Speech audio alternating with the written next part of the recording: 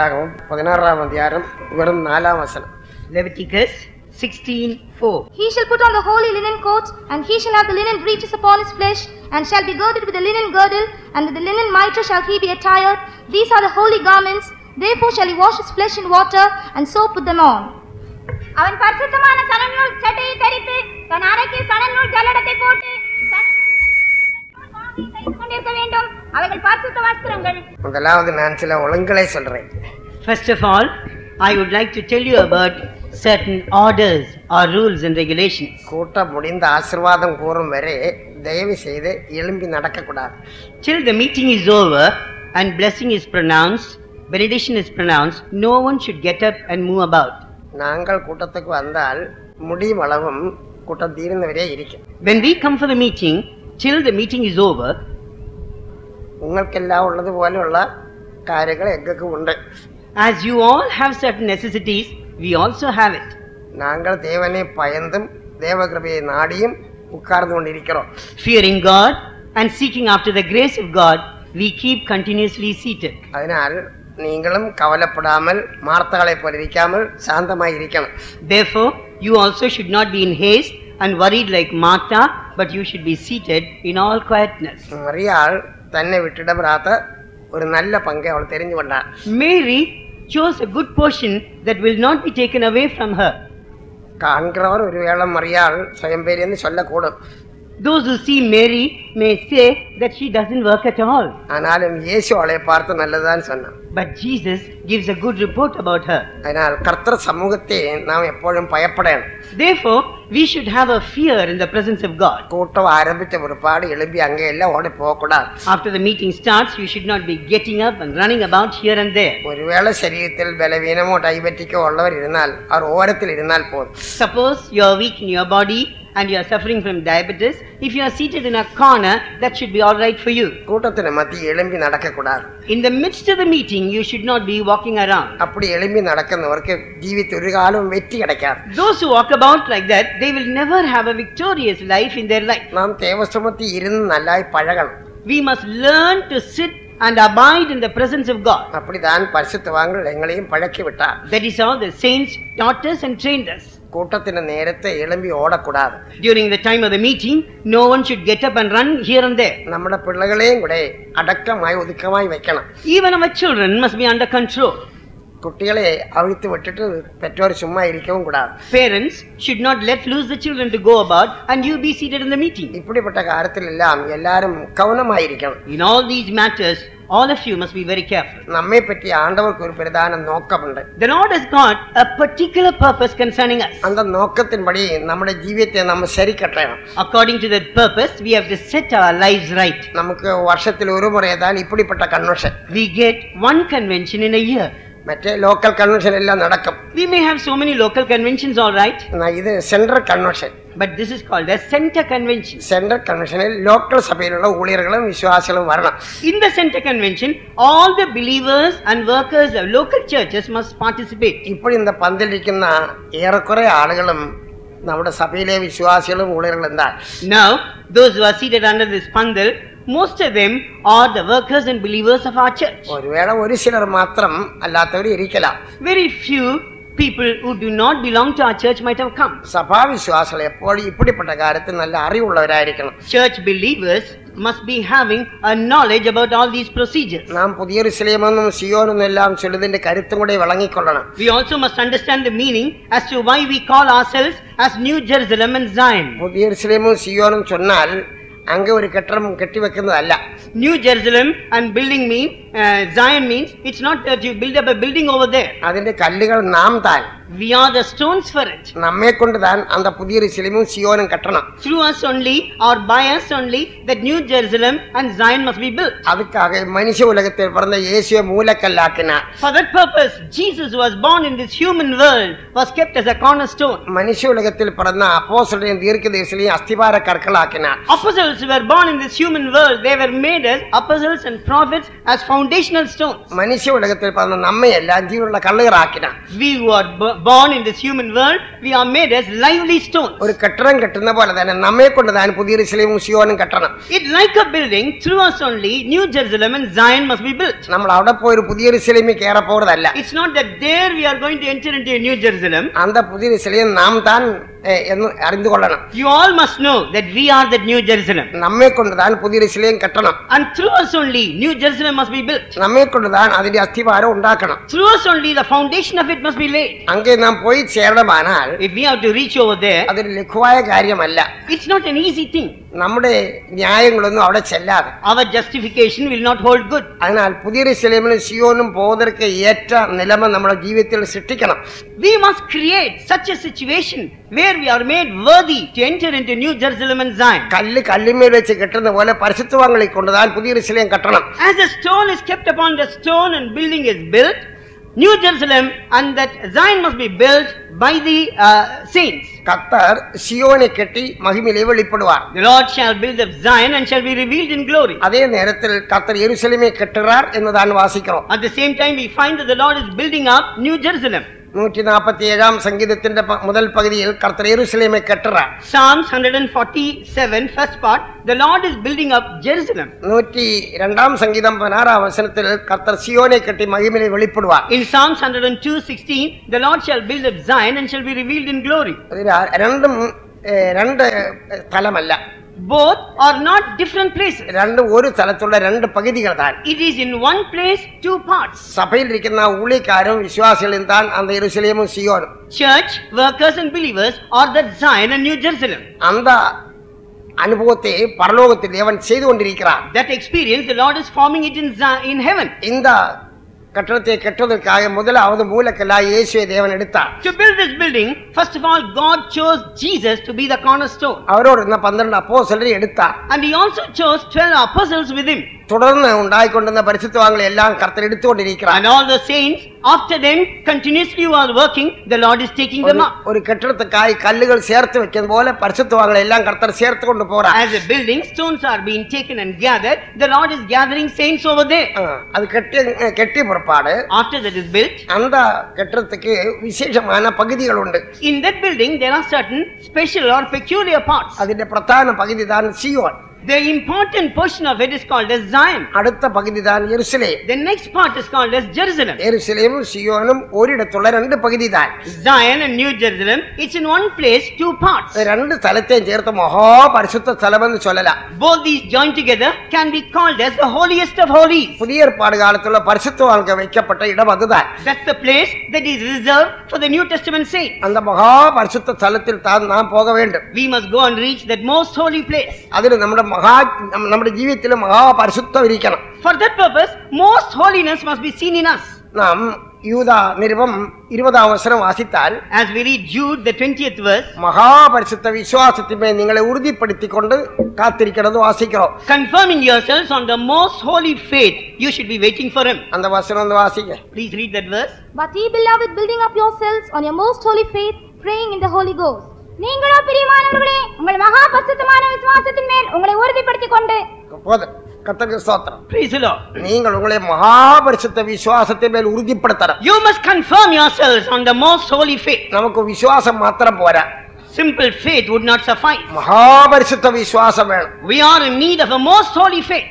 நாம் மகாபரிசுத்தருமாயிருக்கணும் We must be most holy in our lives. அதற்காகத்தான் தேவன் நம்மை எல்லாம் பிரித்தெடுத்தார் For that very purpose, God has separated all of us. எங்களுக்கு உங்களை பற்றி எல்லாம் ஒரு கவலையும் பாரவும் எல்லாம் உண்டு We all have a burden and care about all of you. உங்களுக்கு வேண்டி நாங்கள் ஏறக்குறைய ஜெபித்து கொண்டுதான் இருக்கிறோம் We are almost always praying for you. நீங்கள் எங்களுக்காகவும் ஜெபித்து கொண்டிருக்கிறீர்கள் And you are also praying for us. இங்க வந்த பிற்பாடும் பலர் என்னோட சொன்னால் நான் உங்களுக்காக ஜெபிக்கிறேன் ஜெபிக்கிறேன் ஜெபிக்கிறேன் After we had come here, many came and told me, Pastor, we are praying for you. எங்களுக்காக ஜெபிக்கிற உங்களுக்காக நாங்கள் நன்றி செலுத்துறோம் We are grateful unto you all who are praying for us. நாங்களும் உங்களுக்காக ஜெபிக்கிறோம் We are also praying for you. நீங்கள் யாரும் உங்களோட சொந்த விருப்பத்தின்படி ஒன்றும் செய்யக்கூடாது None of you must do anything according to your own desire and will. சபையில ஊழியர்களும் விசுவாசிகளும் நூற்றுக்கு நூறும் പരിശുദ്ധങ്ങളായിരിക്കണം The workers and believers in the church must be 100% holy. പരിശുദ്ധ പരിശുദ്ധത്തിൽ മാറാനകാരൻ ഒന്നും ജീവിച്ച് വരക്കൂടാതെ Anything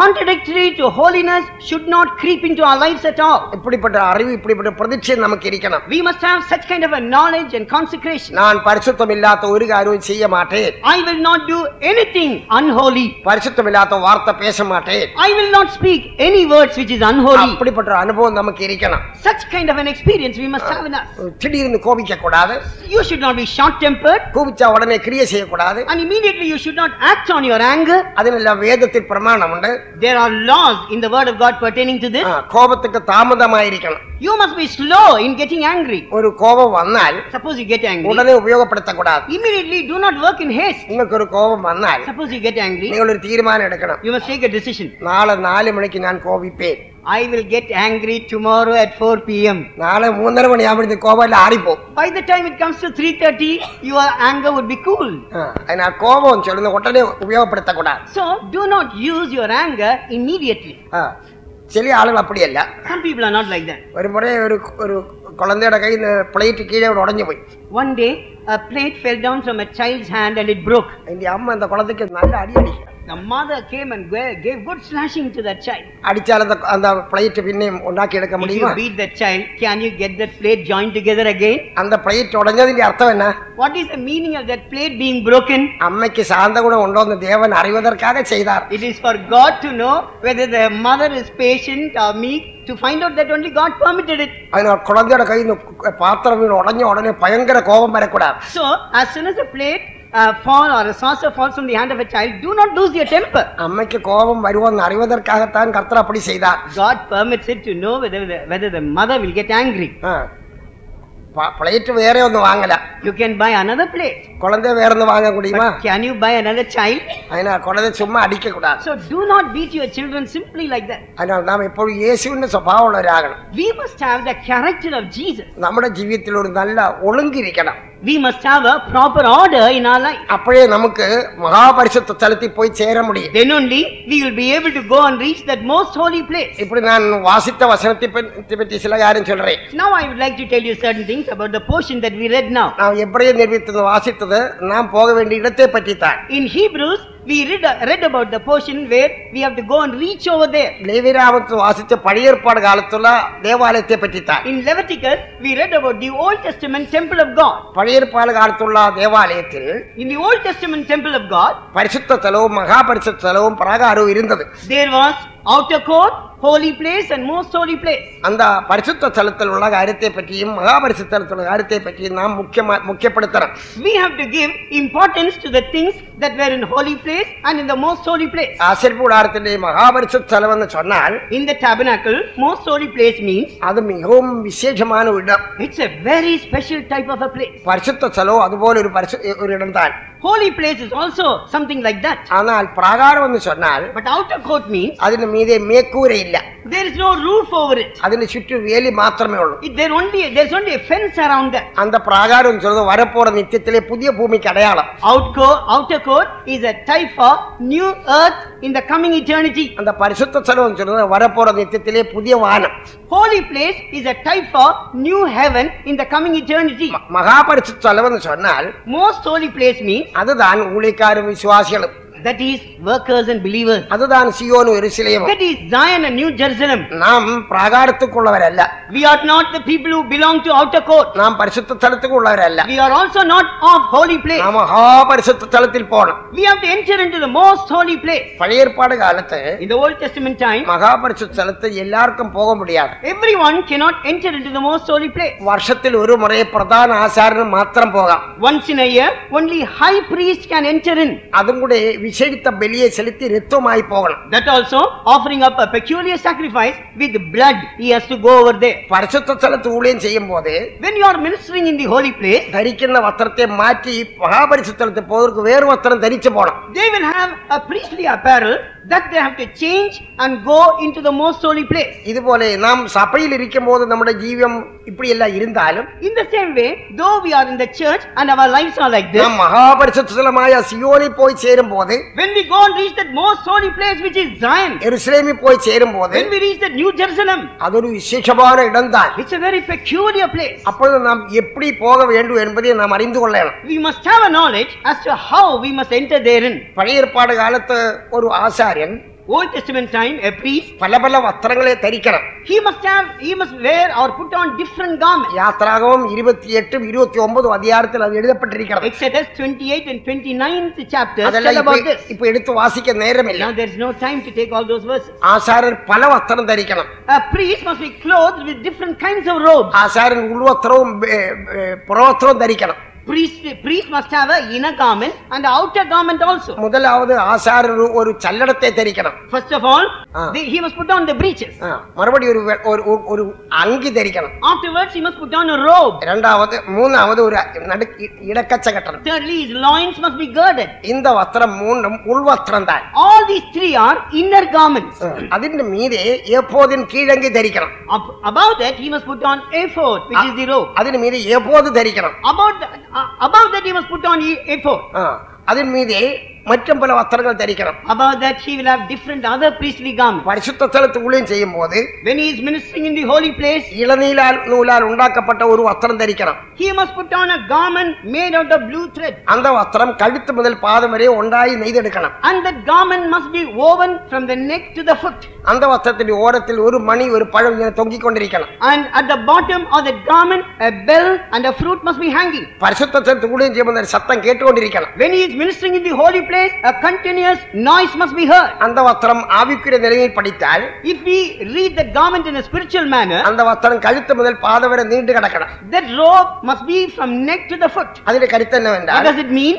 ജീവനുള്ള കാലമെല്ലാം അൻപിലേ നടന്നുകൊള്ളുവേ Throughout the lifetime you walk in love. அந்த വസ്ത്രം കഴുത്ത് മുതൽ പാദം വരെ നീണ്ടു കിടക്കണം That robe must be from your neck to the foot. அந்த വസ്ത്രത്തിന്റെ കരുത്ത് തന്നെ What is the meaning of that ver- uh, ജീവ- garment? ജീവനുള്ള കാലമെല്ലാം അൻപിലേ നടന്നു കൊള്ളുകയെ throughout your lifetime walk in love ഈ കാര്യം എഫ്എസ് നിർബന്ധി എഴുതി എടുത്തെഴുതിയിരിക്കെ this is written in the letter to the Ephesians അന്തവസ്ത്രം ഇളനീല നൂലാൽ ഉണ്ടാക്കപ്പെടണം that must be made out of blue thread അതിന്റെ അർത്ഥം എന്നാ വാട്ട് ഡസ് ഇറ്റ് മീൻ എപ്പോഴും കഴുത്ത് മുതൽ പാദം വരെയും ദൈവ അൻപ് കാണപ്പെടണം always from the neck to the foot the love of God must be seen നമ്മെ പാർക്കുന്ന ജനങ്ങൾ ദൈവ അൻപ് നമ്മിലൂടെ കാണണം people who see us must see the love of God in us அப்படிதான் இந்த ஊழியம் செய்ய வேண்டும் that is how you must perform this ministry நான் உங்களுடைய முதல்வது இப்படிப்பட்ட ஊழியக்காரை கண்ட வேளையில் earlier days when i saw these kind of ministers அவருடைய ஜெபஜீவியமும் their prayer life அவருடைய போஜன பானங்களும் the way they eat அவருடைய தியாகமும் their sacrificial life அவருடைய அவருடைய வஸ்திரதாரணியும் the way they were clothed எல்லாம் எல்லாம் என்னை இழுக்கு இழுத்து கொண்டது these things attracted me அதெல்லாம் நம்முடைய ஜீவித்திலும் காணப்பட இடம் these things must be seen in our life நம்முடைய பேச்சுகள் கேட்டால் if they if they hear our talk நம்முடைய கிரியை ചിന്തകൾ കണ്ടാൽ ഇത് ഡി നമ്മുടെ നടപ്പുകൾ കണ്ടാൽ ഇത് മൂവിംഗ് അബൌട്ട് കൊടുക്കൽ വാങ്ങൽ കണ്ടാൽ ഇത് ഡ്രസ്സിംഗ് മറ്റവർക്ക് ഒരു മുൻമാതിരിയായിരിക്കണം. We must be an example to other പോകുന്നിടത്തെല്ലാം വിളയാടിക്കൊണ്ട് നടക്കக்கூடாது you should not be playing around in all the places that you go தொடுநிலை சிரிக்க கூடாது யூ ஷட் நாட் பி லாஃபிங் எவ்ரிவேர் சிரிப்பு வந்தால் ஒதுக்கமாய் வச்சிரணும் if you even if you want to laugh you must do it in a very private manner இப்படி நம்ம மூடி பாதுகாக்கணும் we must cover ourselves and preserve ah sorry பலவஸ்திரம் தரிக்கிற அர்த்தம் என்னவென்றால் what does it mean by the priest wearing different garments? ആശാര്യന്റെ മാംസ ശരീരം ഒരുവരും കാണക്കൂടാതെ No one must see the flesh or carnal body of the priest. ഒരു പ്രധാന ആശാരനെ പാർത്താൽ If you look at a high priest, അവന്റെ നെറ്റിയിൽ കൂടി ഒരു പട്ടമിരിക്കും even on his forehead there will be a plate. അവന്റെ തലയിൽ ഒരു പാകയിരിക്കും On his head there will be a mitre. അവന്റെ ശരീരത്തിൽ അനേക വസ്ത്രങ്ങൾ ഇരിക്കും There will be so- many garments on his body. അവന്റെ മാംസത്തിന്റെ എന്ത പകുതിയും വെളിയെ തെരിയാതെ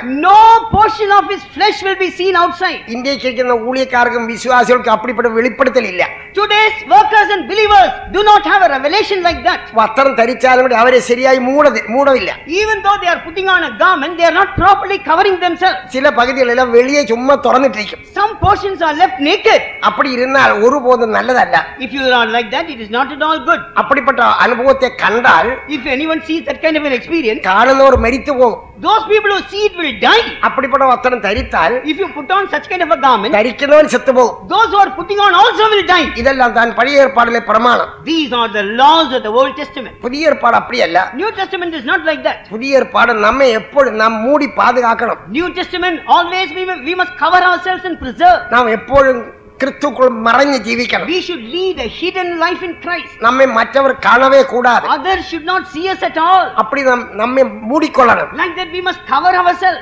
நம்முடைய பேச்சுகள் our talks நம்முடைய வார்த்தைகள் our words நம்முடைய போக்குவரத்துகள் our going and coming கொடுக்க கொடுக்க வாங்கல்கள் our giving and taking நம்முடைய போஜன பானங்கள் our eating and drinking இதெல்லாம் மற்றவருக்கு முன்மாதிரியா இருக்கணும் all these things must be seen as example for others அப்பொழுது மாத்திரமே நாம் மகா பரிசுத்த தலத்தில் போக முடியும் then only we become worthy to enter into the most holy place பிரதானாசாரன் மகாபரிசுத்தலத்தை போகும் பொழுது When the high priest goes into the most holy place, தரிக்கின்ற வஸ்திரத்தை பற்றி தான் லேவிராகவும் பதினாறு நாளில் வாசித்தோம் in Leviticus 4, we read about his garments.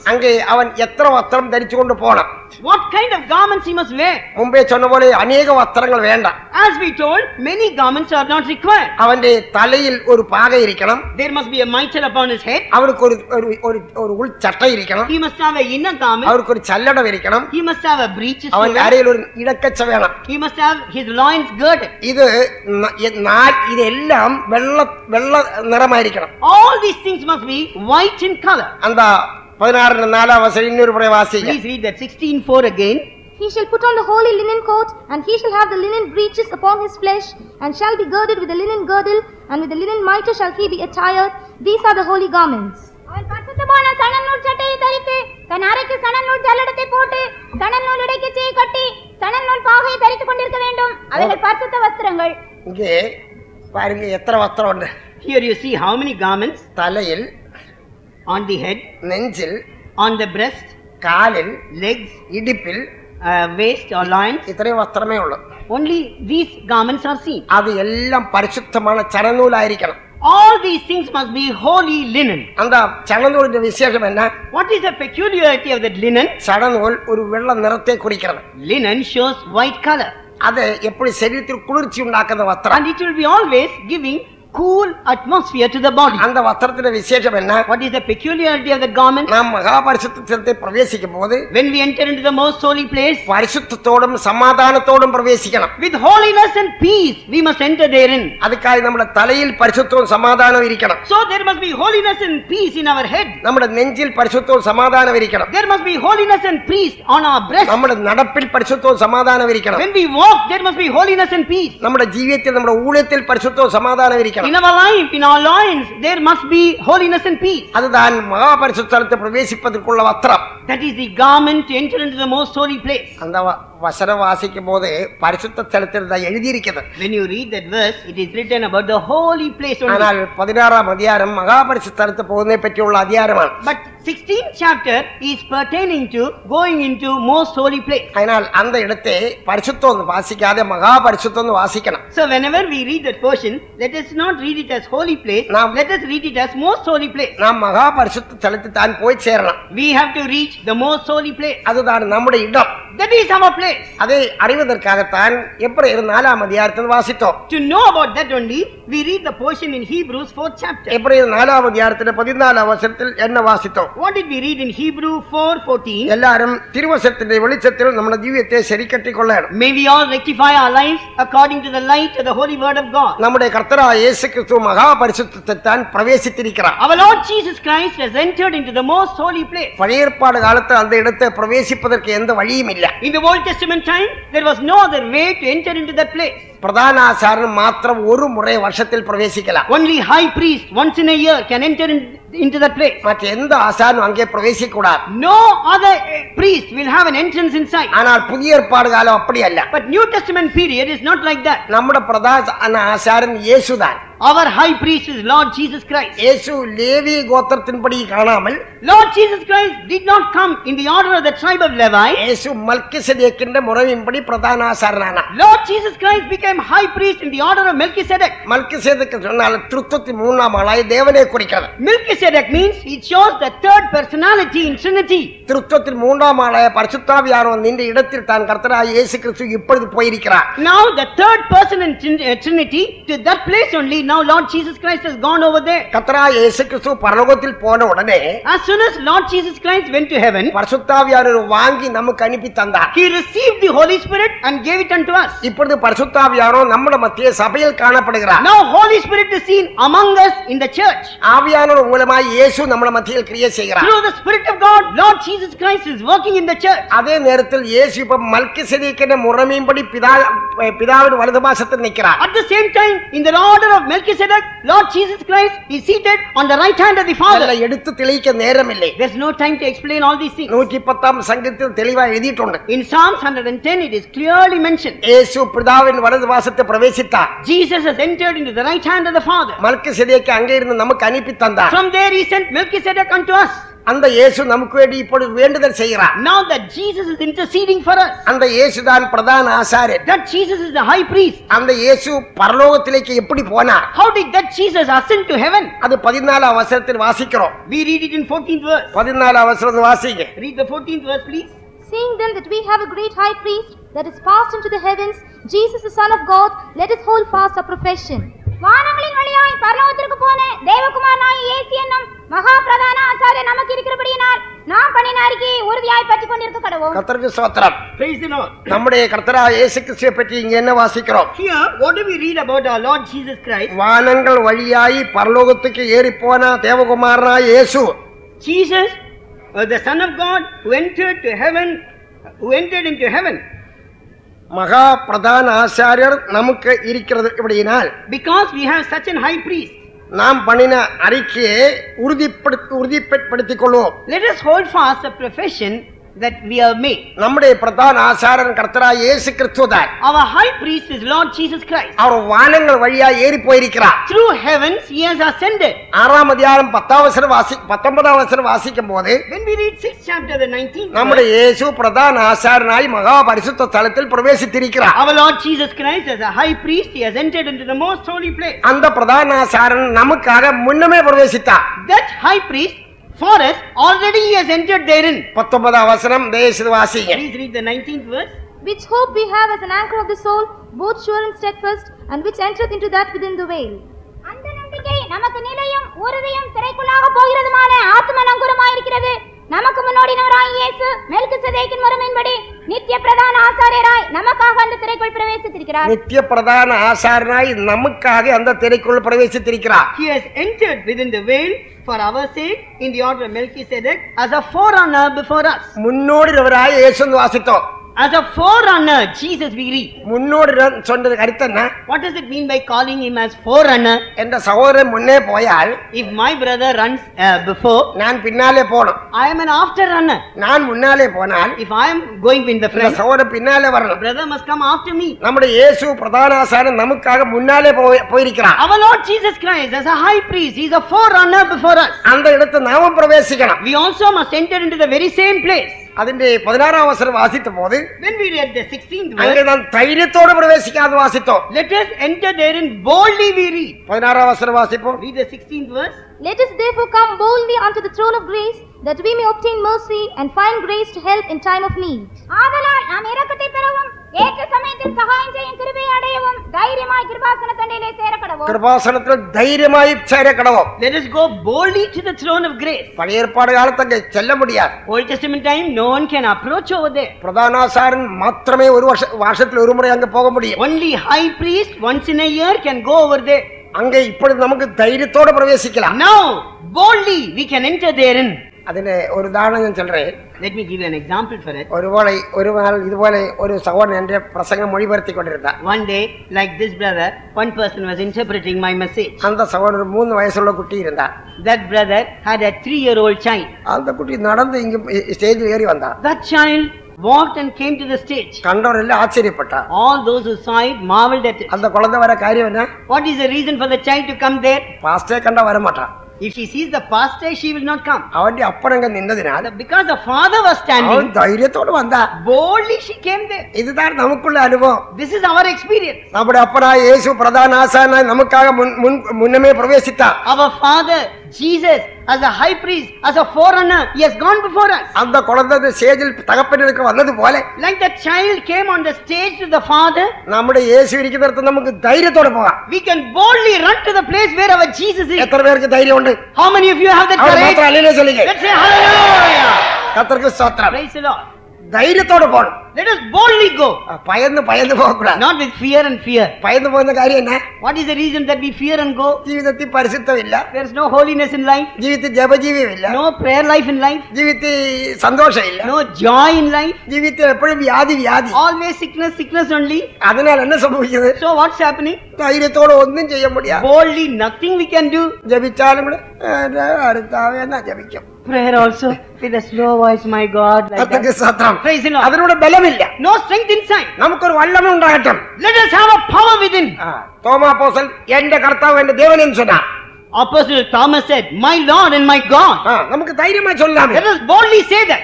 enna vasitham What did we read? കൃപ പെറ്റുവതക്കായി ധൈര്യത്തോടെ കൃപാസനത്തിൽ വരണം. Let us go to the throne of grace boldly. കൃപാസനത്തെ petti ചില കാര്യം ഞാൻ ചൊല്ലറേ. I would like to tell you certain things about the throne of grace. பழைய ஏற்பாடு காலத்து கிருபாசனம் எங்க இருந்தது In the Old Testament time, where was the throne of grace? யாத்திராவும் இருபத்தி அஞ்சாம் அதிகாரத்தை வாசித்தால் When you read Exodus 25th இந்த chapter, பத்தாம் வசனத்தில் ஒரு பெட்டியை பற்றி சொல்லப்பட்டிருக்கிறது in 10th verse it is told about an ark. அதனுடைய பதினேழாம் வசனத்தில் கிருபாசனத்தை பற்றி சொல்லப்பட்டிருக்கிறது In the 12th verse it is told about the uh, mercy seat. அதுல பதினெட்டாம் வசனத்தில் கெருபுகளை பற்றி சொல்லப்பட்டிருக்கிறது 18th verse tells about the cherubs அந்த மகாபரிசுத்த தலத்தில் in the most holy place ஒரு உடன்படிக்கை பெட்டி இருந்தது there was an ark of covenant பெட்டியில மீது ஒரு கிருபாசனம் இருந்தது there was a mercy seat above the ark கிருபாசனமே ரெண்டு கெருபுகள் இருந்தது above the mercy seat there were two cherubs அந்த பெட்டி மரத்தால் செய்து பொன்னால் மூடப்பட்டிருந்தது that ark was made out of wood and overlaid with gold அது எதை குறிக்கிறது what does it show மரம் ஒரு அழிவுக்குரிய பொருள் Wood is a corruptible thing. നമ്മുടെ മനുഷ്യ ശരീരം ഒരു അഴിവുക്കൂരിയ പൊരുൾ. Our human bodies are corruptible. அந்த சித்திமர் எடுத்து பொன்னால் மூடப்பட்டது போல. As this shitty mood was overlaid with gold, அழிவுக்குறி இந்த ശരീരത്തെ மகாபரிஷத்து விசுவாசமாக இந்த பொன்னினால் மூடப்பட்டது. This corruptible body is covered by the most holy faith. இப்படி உடன்படிக்கப்பட்டிருக்கிற விசேஷம் என்ன? Now what is the peculiarity the ark of covenant? அந்த பெட்டியில நீளம் அகலம் எல்லாம் சொல்லப்பட்டிருக்கிறது. The length and breadth and measurement of the ark is mentioned. அந்த பெட்டி மரத்தால் உண்டான உண்டாக்கி பொன்னால் மூடப்பட்டது That Ark is made out of wood and covered with gold. அந்த பெட்டிக்கு ஒரு கிருபாஸ் ஒரு மூடியாய் கிருபாசனம் வைக்கணும் As a cover of that mercy seat or the throne of grace must be kept. அந்த கிருபாசனத்துக்கு அந்த பெட்டியில் அளவாயிருக்கணும் That mercy seat must be of the same, same measurement as the Ark. பெட்டி மரத்தால் செய்து பொன்னால் மூடி இருக்கணும் Ark should have been made out of wood and overlaid with gold. ஆனால் கிருபாசனம் அப்படி அல்ல But mercy seat is not like that. மரம் இல்லாத பொன்னால் மாத்திரம் உண்டாக்கணும் It is without any wood. It is made out of only gold. அது எதை குறிக்கிறது What does it show? நம்முடைய இயேசுவை குறிக்கிறது It shows our Jesus. இயேசுதான் கிருபையை நமக்கு தந்தவர் Our Jesus only gave us grace. இயேசு இயேசு மூலம் தான் நமக்கு இந்த கிருபை கிடைச்சது Through Jesus only we got this grace. இயேசு இந்த உலகத்தில் வரும்போது When Jesus came to this world, மனுஷ ரூபத்தில் காணப்பட்டாலும் though he was seen in the form of man, அவனில் மனுஷ ச- மாம்சம் இல்ல he did not have any carnality in him. அவனில் மனுஷரத்துவம் இல்ல He did not have a human blood in him. இயேசு வசனம் மாம்சமாய் காணப்பட்டவர் The word was made flesh flesh and he was seen as a man. அந்த இயேசுவின் శరీరం என்று சொன்னால் body of christ means அது நம்மை போல மாம்ச శరీரம் அல்ல it is not like a fleshy body as we have. தேவன் ரூபத்தில் மனுஷனாய் காணப்பட்டவர். God was seen in the form of man. அந்த இயேசுவில் நம்மை போல மாம்ச శరీரம் இல்ல. That jesus did not have a carnal body or a fleshy body as we have. இயேசுவின் శరీரம் தேவனுடைய வசனம் மாம்சமாய் மாற்றப்பட்டது? The body of jesus was the word of god made into flesh. நமக்குடைய மறுபடியும் பிறப்பு வரும்போது when we are born again, தேவ வசனம் நமக்கு உள்ளத்தில் பிரவேசித்து when the word of God enters in us, நமக்குள்ள ஒரு புது மனுஷனை சிருஷ்டிக்கிறது it creates a new man within us. அதனால் நாம கூட அந்த செத்தி மரத்தை மரத்தை எடுத்து பொன்னால் மூடப்பட்ட பெட்டி போல காணப்படுறோம் We also must be seen like the shittim wood covered with gold. அந்த பெட்டிக்குள்ளே விசேஷമായ பொருட்கள் இருக்கிறது There are important things within the ark. அந்த பெட்டிக்குள்ளே ரெண்டு கற்பலகை இருக்கிறது There are two boards of law over there. அந்த பெட்டிக்குள்ளே மண்ணா வைக்கப்பட்ட பொற்பாத்திரம் இருந்தது There is a golden vessel to hold manna. அந்த பெட்டிக்குள்ளே ஆரோன துளிர்த்த கோழிகள் இருந்தது Budded rod of Aaron is seen over there. இதெல்லாம் எதை குறிக்கிறது What does all these things show? சபையில் அநேக ரகசியங்கள் உண்டு There are so many mysteries, secrets in the church. அந்த ரகசியங்கள் எல்லாம் சபைக்குள்ளே தேவன் மறைச்சு வச்சிருக்கிறது God has hidden all these secrets in the church. அந்த ரகசியங்களை வெளிப்படுத்துவதற்கு to reveal these mysteries. பரிசுத்தாவியை பற்றி அப்போஸ்தலர் அவசியம் Apostles who have received the baptism of the Holy Spirit are needed. அப்போஸ்தலர் தான் சபையோட ரகசியங்கள் எல்லாம் வெளிப்படுத்தணும் Apostles only must reveal the mysteries of the church of God. வேதாகமத்தை நாங்கள் பதிமூணு ரகசியங்களை படிப்பிக்கிறோம் We, re- we teach 13 mysteries from the Word of God. அந்த ரகசியங்கள் எல்லாம் எடுத்து சொல்வதற்கு நேரம் இல்லை Now there is no time to tell about all these mysteries. அந்த பெட்டிக்குள்ளே இப்போ சொன்ன காரியங்கள் எல்லாம் Now all these things that I mentioned now are within the ark. ஆரோட துளிர்த்த கோலன்னு சொன்னால் Budded rod of Aaron means ஆசாரிய ஊழி எப்பொழுது உயிருள்ளதாயிருக்கணும் the priestly ministry must be lively always ஒரு சாட்சி சொன்னாலும் if you tell a testimony ஒரு ஜெபம் செய்தாலும் if you pray ஒரு வரம் பிரகாசிப்பிச்சாலும் if a gift shines எல்லாம் வல்லமையோடு செய்யணும் everything must be done with power ஆரோன துளுர்த்த goal but a lot of errand അതിന്റെ അർത്ഥം എന്നാ what does it mean ஊழியம் വന്നതല്ല ஒரு உயிருள்ள ஊழியமாயிருக்கும் ministry means a lively ministry நாம் ஏது செய்தாலும் வல்லமையோடு செய்யணும் whatever we do we must do with power அதுக்குள்ளே மண்ண வைக்கப்பட்ட பொற்பாத்திரம் இருந்தது golden vessel that was holding money manna was the manna என்று சொல்றது எதை குறிக்கிறது? வாட் இஸ் மன்னா ஷோ நம்ம கர்த்தராய் இயேசு கிறிஸ்துவே குறிக்கிறது. It shows our Lord Jesus Christ இயேசு கிறிஸ்து தேவனுடைய வசனம் தான். Lord Jesus Christ is the word of God Israel ஜனங்கள் வனாந்தரத்தில் இருக்கும்போது when the children of israel were in the wilderness மன்னா அவருக்கு ஆகாரமாய் கொடுத்தது. மன்னா was given as a food for them. அதை சிலது எடுத்து அவர் பாதுகாத்தார்கள் some took it and preserved it. அது பொற்பாத்திரத்துக்குள்ளே வச்சு பொற்பட்டிக்குள்ளே வைத்தார். It was kept in the golden vessel in a golden box. இந்த கருத்து என்ன? Does it mean? இயேசுவை பற்றிய ரகசியம் எல்லாம் இந்த பெட்டிக்குள்ளே உண்டு. All the mysteries pertaining to Jesus is within the song தேவ வசனத்தை பற்றி ரகசியம் இல்லாத பெட்டிக்குள்ளே உண்டு. All the mysteries pertaining to the word of God is within the ark சபையை பற்றி ரகசியம் இல்லாத பெட்டிக்குள்ளே உண்டு. All the mysteries pertaining to church is seen within the ark அதுக்காக தான் மகாபரிஷத்து விசுவாசத்தை தந்தார். That is why God has given us the most holy faith. ஒரு முறை ஒரு பாஸ்டர் ஒரு ஸ்டடி நடத்தினார். Once one pastor gave a study study നടത്തിയ പുറപ്പാട്. After the study was over ഞാൻ കൂടെ ഇരിക്കുന്ന സഹോദരനോട് Chennai I told the brothers were with me ഇന്ത്യയ്ക്ക് പാസ് പഠിപ്പിച്ച ഓരോ വാർത്തകളും every word that pastor taught us today மிகவும் விசேஷமாய் இருந்தது they were very special for me அதில் ஒரு பதிர் போலும் இல்லைன்னு நான் சொன்னேன் i did not see even a chaff in it அதில் நீக்கி வைக்கேண்ட ஒரு காரியம் இல்ல there was nothing that we could neglect there அப்ப அந்த சகோதரன் சொல்றார் then the brother say ஆம் சகோதரன் நான் ஒரு சிந்தித்து கொண்டிருந்தேன் yes brother i was also meditating upon it இவ்வளவு காரியம் எல்லாம் பாஸ்டர் இதயத்தில் மறைஞ்சு இருந்ததே so many things were hidden in the heart of our pastor ஒரு பரிசுத்தவான் இதயத்தில் ரகசியம் எல்லாம் மறைச்சு வச்சிருக்கலாம் A saint must hide all the secrets within. ரகசியம் எல்லாம் எல்லாரும் தொடர்ந்து சொல்லக்கூடாது Secrets you should not tell openly to everyone. சீம்சோன் ஒரு ஒரு ஒரு ஒரு மனுஷன் இருந்தார் There was a man called as Samson. அவனுக்கு தலையில் ஏழு ஜடை இருந்தது He had seven locks of hair on his head. அவன் மிகவும் வல்லமுள்ளவராக He was இருந்தார் a very powerful man. ஆனால் ஒரு நாள் என்ன செய்தார் But one day what happened? தெலீலா அந்த பெ- பேருள்ள பெண்ணுக்கு எல்லாம் சொல்லி கொடுத்தார் He to revealed a secret unto a girl called as Delilah. அவள் என்ன செய்தார் What did she do? ஆ, அவனை நித்திர பண்ணும்படி சமயம் கொடுத்தார் She made him to sleep. அவன் உறங்கிய சமயத்தை ஜடை ஏழு வெட்டி கலக்கு When he was fast asleep, his locks of hair was cut. அது முதல் கொண்டு சீம்சோன் சாதாரண மனுஷனாய் போய் From that time, Samson became an ordinary man. இது போலதான் அநேக ஜனங்களும் Like this only many people are. கூட்டத்துக்கு எல்லாம் வருவாங்க They will come to the meeting all right. இருப்பாங்க They'll be in prayer. பிரசங்கம் கேட்பாங்க They'll listen to sermon. வல்லமை இல்ல No power. பரிசுத்தம் இல்ல No holiness. முன்னேற்றம் இல்ல No improvement. அப்படி இருக்க கூடாது You should not be like that. சிம்சோனை போல நீங்கள் வரக்கூடாது You should not come to your life like Samson. நாம் ரகசியத்தை பற்றி வெளிப்படுத்துவராയിരിக்கணும் We must have a revelation about secrets. விசுவாசத்தின் ரகசியம் சுத்தமான சாட்சி வச்சிருக்கணும் We find that the ministry mystery of faith is kept in good conscience.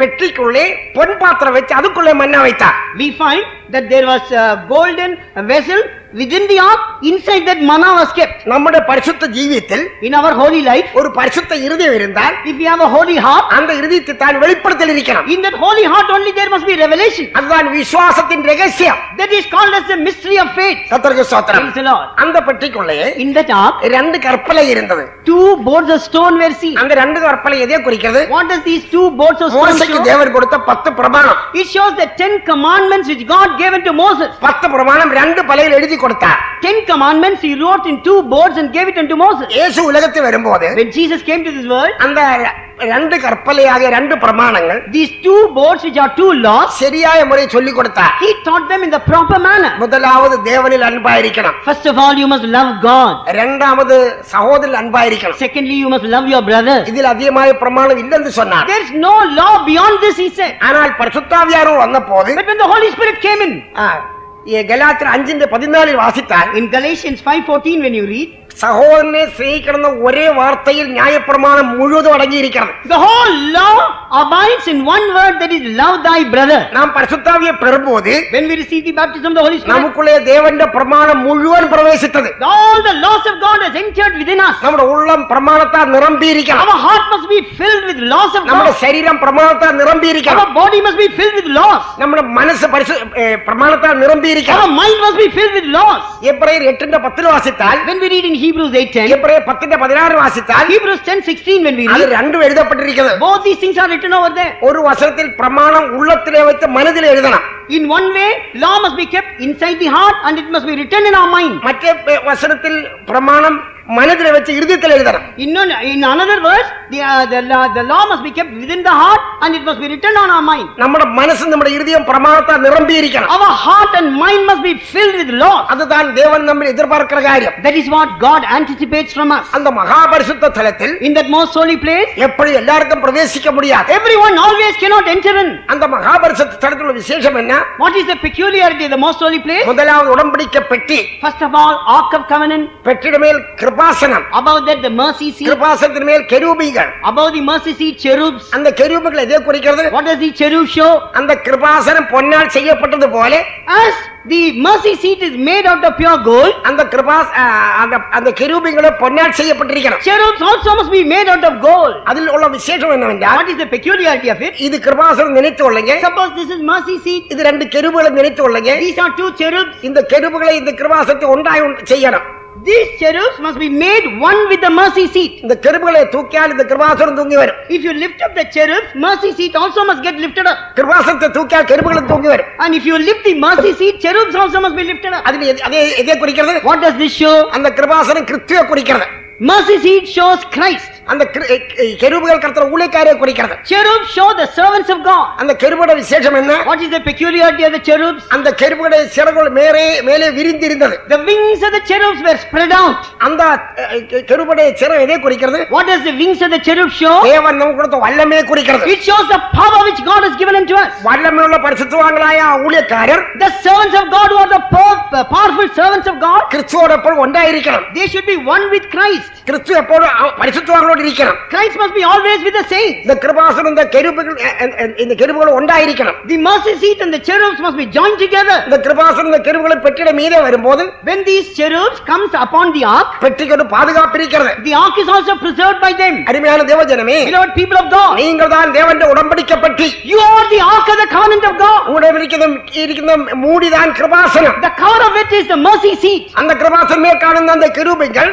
That are seen upon the mercy seat, உங்களுக்காக இரவும் பகலும் ஜெபம் செய்த பரிசுத்தவான்களாய் ஊழியக்காரை குறிக்கிறது they are the servants of God who are saints who are praying for you day in and day out. நீங்கள் கர்த்தர் ஊழியக்காரை காணும் போது When you see a servant of God, அந்த அந்த கிருபாசனத்து மேல் நிற்கிறவராய் காணப்படணும் you must see them seated on the mercy seat. ஊழியக்காரர் நான் உங்களுக்கு சொல்றேன் Oh, servants of God, I am telling you, நீங்கள் கிருபாசனத்தை விட்டு ஒரு நிமிஷம் போல மாறி இருக்க கூடாது never should you part from the mercy seat even for a minute. கிருபாசத்தின் மீது நீங்கள் கட்டப்பட்டவராய் இருக்கணும் You should be built together with the mercy seat. கிருபாசன் நின்னை ஒரு காலம் விட்டு விட மாட்டான் Never will the mercy seat forsake you. இதுதான் நமக்குள்ள விசேஷமான காரியம் These are the peculiarities that is seen in us. கத்தருக்கு சோத்திரம் Praise the Lord. அந்த கிருபாசத்தின் மீதே About that mercy seat, ரெண்டு கெருவுகள் நிக்கிறது two cherubs are standing. அந்த கெருவின் விசேஷம் என்ன What is the peculiarity of the cherub? இந்த கருவி இந்த கருவியை நோக்கி கொண்டிருக்கும் This cherub will be looking at the other cherub. இந்த கருவி அந்த கருவியை நோக்கி கொண்டிருக்கும் This cherub will be looking at the other cherub. ரெண்டு பேரோட புகம் கிருபாசத்தில் இருக்கும் Both of them will be looking at the mercy seat. அதில் அர்த்தம் என்ன What does it mean? ஊழியக்காரன் ஊழியக்காரன் அன்பாய் காணணும் Servant of God must see the other servant of God with love. ஊழியக்காரி ஊழியக்காரி அன்பாய் காணணும் A sister servant of God must see the other sister servant of God with love. அந்த கருவு இந்த கருவும் கிருபாசத்தை நோக்கி கொண்டிருக்கணும் Both these cherubs must be looking at the mercy seat. கிருபாசத்தை நோக்கி கொண்டிருந்தால் If you are looking at the mercy seat, அந்த கிருபாசத்தில் ரத்தம் கிடக்கிறது there is blood in that mercy seat. என்ன அர்த்தம்னா What is that blood? நம்முடைய இயேசு சொந்த ரத்தத்தால் நம்மை மீட்டு கொண்டார் Our Lord Jesus Christ has redeemed us by His own precious blood. எப்பொழுதும் அந்த கெருவுகள் கிருபாசத்தை நோக்கி கொண்டிருக்கிறார் Always these cherubs must be looking at the mercy seat. இப்படிப்பட்ட ஒரு விசேஷமான ஐக்கியத்தை தேவன் தந்திருக்கிறார் God has given us this kind of a special type of a fellowship. அதே நேரத்தில் the same time, அந்த அந்த அதிகாரத்தில் chapter, இருபத்தி இரண்டாம் வசனமா நினைக்கிறேன் I think it is 22nd verse. அந்த ரெண்டு கெருவின மத்தியில் இருந்தும் தேவன் ஜனத்தோடு பேசுவார் எல்லாம் கூடி இருந்தீர்கள் Even today, you all are gathered. இந்த மேசையோட சமீபத்தில் தீர்க்க சத்தம் உயர்ந்து வந்தது From near this table, voice of prophecy raised up. அதுவும் நீங்கள் நன்றாக விளங்கிக் கொள்ள வேண்டும் You must understand that also very well. எல்லாருக்கும் கிருபகளும் வரங்களும் இருந்தாலும் Though all have gifts of grace, ஒரு ஆள் உபயோகப்படுத்தும் போது மற்றாள் மௌனமாயிருக்கணும் when one person utilizes it, another person must be quiet. இருபத்தி அஞ்சாம் அதிகாரத்தில் இருபத்தி இரண்டாம் வசனம் வாசிப்போம் 25, 27. And there I will meet with thee, and I will commune with thee from above the mercy seat, from between the two cherubims which are upon the ark of the testimony, of all things which I will give thee in commandment unto the children of Israel. அங்கே நான் உன்னை சந்திப்பேன் கிருபாசனத்தின் மீதிலும் சாட்சிப்பட்டியின் மேல் நிற்கும் இரண்டு கேருபீன்களின் நடுவிலும் இருந்து நான் இஸ்ரவேல் புத்திரருக்காக உனக்கு கற்பிக்க போகிற போகிறவைகளை எல்லாம் உன்னோடே சொல்லுவேன் சோத்திரம் Praise the Lord. நீ தேவனுடைய சத்தம் கேட்கணுமேயானால் If you are a person hearing the word of God, உண்டு காதும் கண்ணும் அந்த கிருபாசனத்தில் மாத்திரம் இருக்கணும் your ears and eyes must be focused towards that mercy seat. அந்த கிருபாசனம் பெற்றிட மேல் தான் இருக்கிறது That uh, mercy seat must be upon the ark. நம்முடைய இயேசு சபையினுடைய சஞ்சரிக்கிறார் Our Jesus is moving about in the church. சபையை பார்த்தால் இயேசுவை காணலாம் When you look at the church, you can see Jesus. அந்த கிருபாசனத்தில் மீதே Above that mercy seat, ரெண்டு கெருபுகள் இருக்கிறது two cherubs are seen. அந்த ரெண்டு கெருபின் மத்தியில் In the middle of these two cherubs, நோக்கிக் கொண்டிருக்கும் போது as you are looking at it, அங்கிருந்து தேவசத்தம் புறப்பட்டு வருகிறது from there, voice of God proceeds. எண்ணாகமம் ஏழாம் அதிகாரம் கடைசி வசனம் வாசித்தார் Number seven, the last அதே. பதம் அங்கே It எழுதப்பட்டிருக்கிறது is written like that over there. கொஞ்சம் வாசிப்போம் Please read it. மோசே தேவனோட பேசும்படி ஆசரிப்பு கூடாரத்துக்கு பிரவேசிக்கும் போது தன்னோட பேசுகிறவரின் சத்தம் சாட்சியின் பெட்டின் மேலுள்ள கிருபாசனமான இரண்டு கேருபெண்களின் நடுவில் இருந்துண்டாக கேட்பான் அங்கே இருந்து அவனோட பேசுவார் கத்தருக்கு சோத்திரம் மீதே இருக்கின்ற ரெண்டு கெருபின் மத்தியிலும் தேவன் ஜனத்தோடு பேசுவார் God will speak unto the people of God from amidst two cherubs that is upon the mercy seat. என் அருமையான சகோதர சகோதரிகளே My beloved brothers and sisters, கூட நீங்கள் தேவனுடைய சத்தத்தை கேட்டுக்கொண்டிருக்கிறீர்கள் even now you are hearing the voice of God. கிருபாசனத்தில் மீதி இருக்கிற கெருபின்டே மத்திலிருந்து தேவன் பேசினார் from amidst the cherubs of god which is upon the mercy seat the lord is speaking unto you നമ്മുടെ കർത്തർ നമുക്ക് തന്നിരിക്കുന്ന കൃപയുടെ വിശേഷം എന്നാ what is the peculiarity of the grace which god has given unto us പരിശുദ്ധ പൗലോസ് നാനേ ഇരിക്കുന്നത് ദൈവ കൃപൈ saint paul says if at all i am it is the grace of god ദേവന്റെ പിള്ളയെ oh beloved child of god നീ ഇരിക്കുന്നത് ദേവന്റെ കൃപയല്ലവാ if you are like this it's the grace of god ഞാൻ ഇരിക്കുന്നത് ദേവന്റെ കൃപയല്ലവാ if i am like this it's the grace of god എനിക്ക് സ്വന്തമായി ബലമില്ല i have my, i do not have my own strength. எனக்கு சொந்தமாய் அறிவு இல்லை I have no knowledge of mine. எனக்கு சொந்தமாய் ஒன்றும் இல்லை I have nothing of mine. கர்த்தர கிருபை மாத்திரம் என்ன நடத்துகிறது It's only the sheer grace of God that is leading me. அப்படி சொல்லக்கூடிய எத்தனை பேர் How இருக்கிறீர்கள் many of you can say like our that? மாத்திரம் கைவர்த்தி அடையிலே சொல்லுங்க Let us all lift up and say hallelujah. கர்த்தருக்கு சோத்திரம் Praise the Lord. கர்த்தர் நம்மை கிருபையில் வைத்திருக்கிறார் The Lord has kept us in His grace. நாம் எங்கே நம்மட கண்ணு வைக்கணும் Where must we have our eyes focused? மகா பரிசுத்த സ്ഥലത്തിരിക്കുന്ന പെട്ടിയുടെ മീതെ ഇരിക്കുന്ന കൃപാസനത്തിന്റെ മീതെ നമ്മുടെ കണ്ണിരിക്കണം Our eyes must be upon the cherubs which is upon the mercy seat அந்த பெட்டி സഭയെ குறிக்கிறது and that ark shows the church of god அந்த സഭയുടെ മീതെ ഇരിക്കുന്ന அந்த പെട്ടിയുടെ മീതെ ഇരിക്കുന്ന കൃപാസനം ക്രിസ്തുവെ குறிக்கிறது about the above the ark there is the mercy seat that shows christ Kripasanam ഇരിക്കുന്ന രണ്ട് കെരൂബുകൾ കർത്തരെ ഊഴിയക്കാരെ குறிக்கிறது two cherubs upon the mercy seat shows the servants of god കർത്തരെ ഊഴിയക്കാരെ വിട്ട് കർത്തർ പോക മാட்டார் god will never depart from the servants of god ഊഴിയക്കാർ കർത്തരെ വിട്ട് പോക മാட்டார் and the servants of god will never go away from the god கர்த்தரோடு இருப்பதற்காக ഊழிய ஊழியக்காரை கத்தர் பிரித்தெடுத்தார் God has separated the servants of God so that they may be one with God. பரிசுத்த யோவான் சொன்னார் Saint John says, எங்கடி ஐக்கியம் பிதாவோடும் குமாரனோடு இருக்கிறது Our fellowship is with God the Father and the Son. உங்களுக்கு எங்களோட ஐக்கியம் உண்டாகும்படி எழுதுகிறேன் I am writing that this so that you may have fellowship with us. ஐக்கியத்தின் விசேஷத்தை பாருங்கள் See the peculiarity of fellowship. அப்போஸ்தலருக்கு பிதாவோடும் குமாரனோடும் ஐக்கியம் Apostles have the fellowship with Father and the Son. விசுவாசிகளுக்கு அப்போஸ்தலரோட ஐக்கியம் Believers have fellowship with apostles. இதுதான் எருசலேமும் சியோனும் சொல்லுகிற கருத்து This is the meaning of New Jerusalem and Zion. நம்முடைய ஜீவியத்தை நாம் இந்த நிலைமையை பாதுகாக்கணும் We must preserve our lives in this manner. என் அருமையான சகோதர சகோதரிகளே My beloved brothers and sisters, உலகத்தில் எத்தனையோ கிறிஸ்தவ சபைகள் இருக்கிறது there are so many Christian denominations அந்த world. இப்படிப்பட்ட காரியங்கள் சொல்லுவார்களா Will they talk about such kind of things in their church? நாம் இப்படிப்பட்ட காரியங்கள் சொல்லும் போது When we talk about such kind of things, அவர்கள் என்ன சொல்றார்கள் what do they say?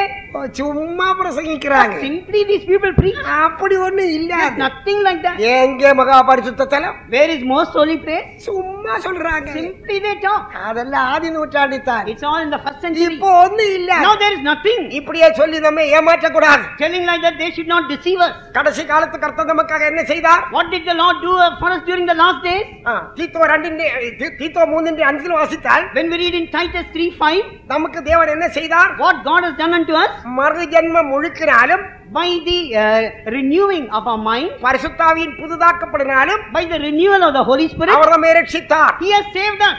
அங்க மூன்று காரியம் சொல்லப்பட்டிருக்கிறது Three things are mentioned over. முதலாவது Kripa First of all, grace. கிருபையா நீதியமாங்களாக்கப்பட்டோம் By grace we are justified. இரண்டாவது மறு ஜென்மம் முழுக்க எடுத்தோம் Secondly, we were uh, immersed or born again. மூன்றாவது பரிசுத்தாவியை பெற்றோம் Thirdly, we have received the baptism of the Holy Spirit. அந்த வசனம் வாசிக்க Please read that verse. Not by works of righteousness which we have done, but according to his mercy he saved us by the washing of regeneration and renewing of the Holy Ghost. நாம் செய்த நீதின் கிரிகளை நிமித்தம் அவர் நம்மை ரட்சியாமல் தமது இரக்கத்தின்படியே மறுஜென்மம் முழுக்கினாலும் பரிசுத்தாவினுடைய புதிதாக்குதலினாலும் நம்மை ரட்சித்தார் கத்தருக்கு சோத்திரம் Lord. மறு ஜென்மம் முழுக்கினாலும் பரிசுத்தாவின் புதுப்பிக்கினாலும் By the regeneration of the renewing of our mind, He renews us by the Holy Spirit. அந்த மறு ஜென்மம் முழுக்கன்னு சொல்லி கருத்து என்ன By the washing, uh, by the regeneration means what does it mean? மறு ஜென்மம் சொன்னா நம்மட மறுபடியும் பிறப்பை குறிக்கிறது Regeneration shows we being born again. முழுக்க சொன்னா ஞானசனத்தை குறிக்கிறது Immersion or washing means shows baptism. நாம் மறுபடியும் பிறந்த வேளை ஞானசனம் பெற்றுக்கொண்டோம் When we were born again, we took baptism. அப்பொழுதுதான் தேவன் நம்மை பரிசுத்தாவின் அபிஷேகித்தார் Then only God filled us with the baptism of the Holy Spirit. பரிசுத்தாவியாரும் நம்மை புதுப்பிக்கிறார் Holy Spirit renews us. இந்த புதுப்பிக்கலையை நீங்கள் பாதுகாக்கணும் You must preserve this renewal. அநேக ஆளுகள் ரட்சிக்கப்படும் போது நல்ல சந்தோஷம் Many people, when they are saved, they are very happy. பரிசுத்தாவிய பெரிய சந்தோஷம் When they receive the baptism of the Holy Spirit, they are still more happy. ஒரு ஜெபங்கோலும் மு- மு- முடக்கி விட மாட்டான் They will never miss even a prayer. ஆனா ரெண்டு மாசம் கழியும் போது after two months, மூன்று மாசம் கழியும் போது after three months is பத்து over, வருஷம் கழியும் போது after ten years, Aadhi அன்பெல்லாம் தட்டப்படுத்தும் all the first love is lost, கிருபையெல்லாம் உடைச்சு விடும் all the grace is broken. மறுபடியும் என்ன சொல்லுவாங்க What will they say? அவன் சரியில்லை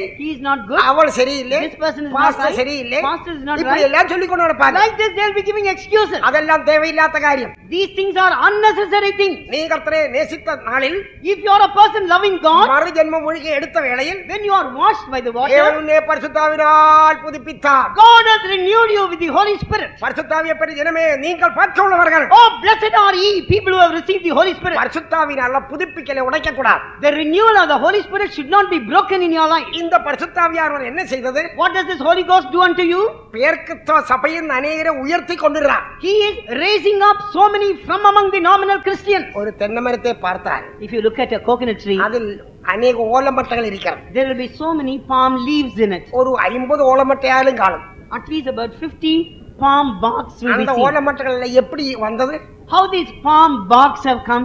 அந்த ஓலமட்டைகள் எல்லாம் ஒரு சமயத்து நல்ல நாம்பாய் எழும்பி வந்தது These palm barks that you see, once upon a time, like a good blade, it shot, shot from inside. நல்ல குருத்தா இருந்தது It, that, that blade was seen very sharp. அப்ப அந்த பே- அதுக்கு குருத்தோலை இந்த பேர் That is called as palm leaf. நல்ல வெள்ளையா இருந்தது It was very white. கொஞ்ச நாளுக்கு அப்புறம் After some time, அது நிவிர்ந்தது these leaves, it got opened, கொஞ்சம் பச்சை நிறமாச்சு it became green. ஒரு கொஞ்ச நாளுக்கு அப்புறம் After some time, இன்னொரு குருத்து எலும்பி வரும்போது when another blade proceeds out, அது புறமட்டையாய் மாறியாச்சு this has become outer bark. இப்படிதான தென்னை மரத்தில் ஐம்பது ஓலமட்டை இருக்கிறது If you can see the coconut trees, you will find about 50 and more barks அந்த. ஓலமட்டையில் எதை குறிக்கிறது What does this palm barks show? மற்ற கிறிஸ்தவ சபைகளை குறிக்கிறது It shows other Christian churches. அவரெல்லாம் ஒரு காலத்து நல்ல நாம்பு போல வந்ததுதான் Once upon a time, they were shooting out like a good blade of palm leaves. இப்போ அவரோட பேர் என்ன Now, what's the name of it? புறமட்டை It is only palm bark. ஆனால் ஒரு விசேஷம் உண்டு One peculiarity. அந்த மட்டை எல்லாம் அந்த தென்னை மரத்தை தான் நிக்கிறது All these barks must stay in the coconut tree itself. கிறிஸ்துவிட பேரில் தான் நீ நிக்கிறான் You are standing on the name of Christ. ஆனால் என்ன சம்பவிக்க போறது But what is going to happen to you? அந்த புறமட்டை பழுத்து போய்விடும் one day this outer bark will be ripened அது காய்ந்து போய்விடும் it will get dried up அது கீழே வழிந்து விழும் it will fall down அப்படி சம்பவிக்காதபடி for you not not to happen like that தென்னை மரத்திலே நாம் பாய் தான் காணப்படும் we should be seen as a good blade palm leaves in the coconut tree அதின்ட குருத்தாய் காணப்படும் we must be seen as a good blade proceeding out அந்த குருத்தின் விசேஷம் என்ன what is the peculiarity of that palm blade அது மேலே மேலே நோக்கி கொண்டிருக்கிறது Straight it will be looking up. എല്ലാം ചേർന്ന് ഉണ്ടായിരിക്കുന്നത് It will be all joined together, folded and seen straight. அதுதான் നമ്മുടെ ഐക്യം That's our fellowship. ഒന്ന് വരുന്ന ഒന്നിന്റെ ഒമ്പതിൽ വാസിത്താൽ First Corinthians 1 9 if you read, ദേവൻ നമ്മെ ഐക്യത്തിക്കായി അழைத்தார் God has called us for a fellowship. അത് നിങ്ങൾ മറക്കകൂടാതെ Never should you forget that. നമ്മുടെ കുമാരനും നമ്മുടെ കർത്തൃമായ യേശു ക്രിസ്തുടനെ ഐക്യമായിരിപ്പതിൽ കൂടി അழைത്തതേ അവർ ഉണ്മയുള്ളവർ God is faithful who has called us unto his Son, unto our Lord Jesus Christ. അന്ത വസരത്തെ നിങ്ങൾ എല്ലാ പുസ്തക എല്ലാവരുടെയും പുസ്തകത്തിൽ വാസിച്ച് All പാരുங்கள் of you, please read this verse in your book. നമ്മുടെ കുമാരനും നമ്മുടെ കർത്തനുമായ യേശു ക്രിസ്തു ഉടനെ ഐക്യമായിരിപ്പതിന് നമ്മെ അളയത്തെത്തി അവൻ ഉണ്മയുള്ളവർ. God is faithful who has called us to have fellowship with his son and our lord jesus christ. നമ്മുടെ ഐക്യത്തെ നാം പാതുകാക്കണം. We must preserve our fellowship. നമ്മുടെ കർത്തർ വരിയോ we are very close to the coming of our lord. എൻ്റെ അരുമയാണ് സഹോദര സഹോദരികളെ my beloved brothers and sisters നമ്മുടെ ദേവൻ നമ്മെ our god has called us for fellowship. നമ്മുടെ യേശുക്രിസ്തു നോക്കി what was the prayer our lord jesus christ made unto the father? പിതാവേ നാം ഉണ്ടായിരിക്കുന്നത് പോലെ father as we are one അവരും നമ്മിൽ ഉണ്ടാകണം. for they also should be one not with us அதுதான் ஐக்கியத்தின் விசேஷம் that's the peculiarity of fellowship யோவான் என்ன சொன்னார் what does john say எங்களுடைய ஐக்கியம் பிதாவோடும் குமாரனோடும் இருக்கிறது our fellowship is with uh, the father and the son உங்களுக்கு எங்களோடு ஐக்கியம் உண்டாகும்படி எழுதுகிறேன் i am writing this so that you may have fellowship with us அருமையான தேவஜனமே beloved people of god நம்முடைய ஐக்கியத்தை நாம் பாதுகாக்கணும் we must preserve our fellowship நம்முடைய ஐக்கியத்தை பாதுகாத்தால் when we preserve our fellowship நம்முடைய ஜீவ விசேஷமான அனுபவத்தில் காணக்கூடும் our life will be seen as an special experience நமக்காய் தேவன் வச்ச இடமே தான் which is the place which God has kept for us. That is what we read in Hebrews 6 19 and 20. Our Lord Jesus Christ has entered into the most holy place. He has entered there as a forerunner before us. We must go and reach the place wherever Jesus has gone. Jesus is standing over there. He is expecting us to come there. அவர் நம்மை எதிர்பார்க்கிறது எப்படி how does he expect us to come there என் மகன் என்னிடத்தில் வரட்டும் let my son come unto me அதுதான் கர்த்தர் நம்மை எதிர்பார்க்கிறார் that's what god is expecting from us இப்பொழுது இயேசு மகா பரிசுத்த தலத்தில் நிற்கிறார் now jesus is standing in the most holy place நீங்களும் நானும் அங்கே செல்வதற்காக you and i for us to go there இயேசு நமக்காக முன்னோடிவராய் இருக்கிறார் jesus is the forerunner before us அதனால் நாம் എപ്പോഴും നാലിന്റെ പതിനാറിൽ വാസിത്തത് പോലെ As we read in Hebrews 4:16, യേശു നിൽക്കുന്ന ഇടത്തേക്ക് ധൈര്യത്തോടെ പോകണം we must go boldly to the place where our Jesus is standing. ധൈര്യത്തോടെ പോകണം ஆனால் If we have to go with boldness, യേശുവിൽ ഇരുന്ന തന്മകൾ നമുക്ക് ഇരിക്കണം all the characters that were seen in Jesus must be seen in പഴയ us. ഏർപ്പാട് കാലത്ത് പ്രധാനാചാരൻ മഹാപരിശുദ്ധത്ത് പോകുമ്പോൾ In the Old Testament, when the high priest goes into the most holy place, അവന്റെ തലയിൽ പരിശുദ്ധവും സമാധാനവും ഇരുന്നത് on his head there was holiness and peace. അവന്റെ നെഞ്ചിൽ പരിശുദ്ധവും സമാധാനവും ഇരുന്നത് On his breast there was holiness and peace. അവന്റെ കാലിൽ പരിശുദ്ധവും സമാധാനവും On ഇരുന്നത് his legs there was holiness and peace. അവന്റെ ഇടുപ്പിൽ അവന്റെ ഉള്ളിത്തിൽ പരിശുദ്ധവും സമാധാനവും ഇരുന്നത് On his waist, in his ministry, there was holiness and ഇത് peace. ഇതാണ് നമ്മുടെ ജീവിതത്തിലും കാണപ്പെടണം This must be seen in our life also. എന്റെ ഊഴിയത്തിൽ ഒരു പരിശുദ്ധവും സമാധാനവും ഇരിക്കണം In my ministry, there must be holiness and peace. എന്റെ നടപ്പിൽ ഒരു പരിശുദ്ധവും സമാധാനം ഇരിക്കണം In my walking, there must be holiness and peace. എന്റെ ഇരുദയത്തിൽ പരിശുദ്ധവും സമാധാനം In my ഇരിക്കണം heart, there must be holiness and peace. എന്റെ മനസ്സിൽ പരിശുദ്ധവും സമാധാനം In my ഇരിക്കണം mind, there must be holiness and peace. நீங்கள் சிந்தித்து பாருங்க you think about this நீங்களுடைய மனசில் பரிசுத்தம் சமாதானம் இருக்கிறதா is there holiness and peace in your mind நீங்களுடைய இதயத்தில் பரிசுத்தம் சமாதானம் இருக்கிறதா is there holiness and peace in your heart உங்களுடைய நடப்பில் பரிசுத்தம் சமாதானம் இருக்கிறதா is there holiness and peace in your walking நீங்களுடைய ஊழியத்தில் பரிசுத்தம் சமாதானம் இருக்கிறதா is there holiness and peace in your ministry பிரதான ஆசாரன் மகா பரிசுத்தத்துக்கு போகும்போது when the high priest goes to the most holy place லேவியராகம் 16 4 வாசித்தது போல as we read in Leviticus 16:4 அவன் பரிசுத்தமான சடங்கு சல்லடத்தை தரித்து putting on the the holy breach inside. பரிசுத்தமான சணல் சட்டையை தரித்து putting on the linen garment holy one. பரிசுத்தமான சணல் இடக்கச்சை கட்டி and is with a girdly girth his loins. பரிசுத்தமான சணல் சணல் பாகையை தெரித்து he has a holy mitre on his head இப்போ அவரே பாருங்க now you look at him அவன் தலையில் பரிசுத்தம் சமாதானம் there is holiness and peace upon his head அவன் நெஞ்சில் பரிசுத்தம் சமாதானம் on his breast holiness and peace அவன் காலில் பரிசுத்தம் சமாதானம் on his legs holiness and peace அவன் இடுப்பில் பரிசுத்தம் சமாதானம் on his waist holiness and peace இதுதான் நமக்கு அவசியமா இருக்கிற காரியம் this is what is inevitable in our life நிமிஷம் சிந்திச்சு பாருங்க people of god think over it என்ற மனசில் பரிசுத்தம் சமாதானம் இருக்கிறதா is there holiness and peace in my mind என்ற இருதயத்தில் பரிசுத்தம் சமாதானம் இருக்கிறதா is there there holiness and peace in my heart என்ற ஊழியத்தில் பரிசுத்த சமாதானம் இருக்கிறதா is there holiness and peace in my ministry என்ற நடக்கையில் பரிசுத்த சமாதானம் இருக்கிறதா am i having a holy and peaceful walking நான் எங்கே போறேன் where am i going நான் மகா பரிசுத்த ஸ்தலத்துக்கு போறேன் i am going towards the most holy place அந்த இடத்துல தான் இயேசு மெல்கிசேதேக்கின் முறையின்படி நிற்கிறார் there only jesus is standing there in the order of melchizedek மெல்கிசேதேக்கின் முறையின்படி சொன்னார் என்ன what is the meaning of in the order of melchizedek மெல்கிசேதேக்கே லேவியர் லேவ கோத்திரத்தை சேர்ந்தவன் அல்ல Melchizedek does not belong to the tribe of அந்த Levi. மல்கிசேதேக்கு யார் அவர்தான் திருத்தத்தின் மூன்றாம் ஆளாய தேவன். அருமையான தேவன் பிள்ளையே. நீ பரிசுத்தாவிய பெற்ற நாளில் The day when you receive the baptism of the Holy Spirit. திருத்துவத்தின் மூன்றாம் ஆளாய தேவன் உனக்குள்ளே வாசமாயிருக்கிறார் The third person of the Trinity, that God dwells in you. உந்த சரீரம் பரிசுத்தாவியான ஆலயம் அல்லவா Is not your body the temple of the Holy Ghost? அப்படியானா நம்முடைய சரீரத்தை பரிசுத்தத்தில் பாதுகாக்க வேண்டாமா In that case, is it not necessary to preserve our body holy? என் அருமையான சோதனை Marie, my beloved brother, sister, உന്റെ ശരീരം പരിശുദ്ധവും സമാധാനമുള്ളതായിരിക്കണം. Your body must be filled with holiness and peace. உന്റെ ശരീരത്തെ നീ പരിശുദ്ധത്തിലേക്ക് മാറാന കാര്യത്തെ കൊടുക്കക്കൂടാ. Never must you offer your body to anything against holiness. എന്റെ അരുമയാണ് സൗന്യ Thawri. Beloved brothers and sisters, കർത്തൻ എനിക്ക് കൊടുത്ത വെളിപ്പെടുത്തൽ നിങ്ങൾക്ക് ചൊല്ലവേ. The revelation which God gave me, I would like to tell you. ഞാൻ 24ാമത്തെ വയസ്സിൽ എന്നെ പ്രതിച്ചപടനെ. In my 24th year, I made this consecration. இப்படி 83ാമത്തെ വയസ്സിൽ കാൽ വെച്ചിരിக்கிறேன். Now I have stepped into my 80th 83 years. இதுவரையும் பரிசுத்தத்தோடும் சமாதானத்தோடும் கர்த்த வழி நடத்தினார் Hitherto, God was leading me in holiness and peace. அப்படிப்பட்ட சாட்சி நமக்கு இருக்கட்டும் Let us have such kind of a testimony within us. எல்லாரும் தேவசமத்தை உங்களை தன்னை சோதித்து பாருங்க All of you, examine yourselves in the presence of God. அருமையான தேவர் ஜனமே Beloved people of God, நாம் இயேசு ரத்தத்தால் மீட்கப்பட்ட ஜனம் அல்லவா are we not the people redeemed by the blood of Jesus? திருவசத்தால் மறுபடியும் பிறந்த ஜனம் அல்லவா Are we not the people who are born again by the word of God? மறு ஜென்மம் முழுக்க எடுத்த ஜனம் அல்லவா Are we not washed again? பரிசுத்தாவின் புதுப்பிக்கலை பெற்ற ஜனம் அல்லவா Are we not renewed by the Holy Spirit? நாம் உலக ஜனத்தை பார்க்கிற வித்தியாசம் அல்லவா Are we not different from the worldly people? நாம் தேவசமத்தில் பரிசுத்தராய் இருக்க வேண்டாமா Is it not necessary that we should be seen holy in the presence of God? தேவன் நம்மை பற்றி என்ன விரும்புகிறார் What God desires from us பரிசுத்தராகவும் as holy ones, குற்றமற்றராகவும் blameless, கண்டிக்கப்படாத காணப்படணும் we must be seen unrebukable. அப்படிப்பட்ட சபைக்கு வேணும் நம்மள கர்த்தர் வெளிப்படுவார் Our Jesus will appear for such kind of a church. அதுக்காக நம்மை நாம் கர்த்தர்கள் ஒப்பு கொடுப்போமாக May we surrender ourselves into the mighty hands of God for that purpose. എന്റെ അടിമയാണ് സഹോദരനെ സഹോദരി beloved brother sister. നാം രണ്ട് നിമിഷം ദൈവസമയത്ത് നമ്മുടെ സ്വന്തം ജീവിതത്തെ തിരുമ്മി പാർപ്പമാണ്. For two minutes may we close our eyes and examine our lives in the presence of God. നമ്മുടെ കർത്താവ് നമ്മെ എപ്പടി നേസിത്താർ how our Lord loved us. அவர் பரலோகத்தில் இருந்தவர் He was in heaven.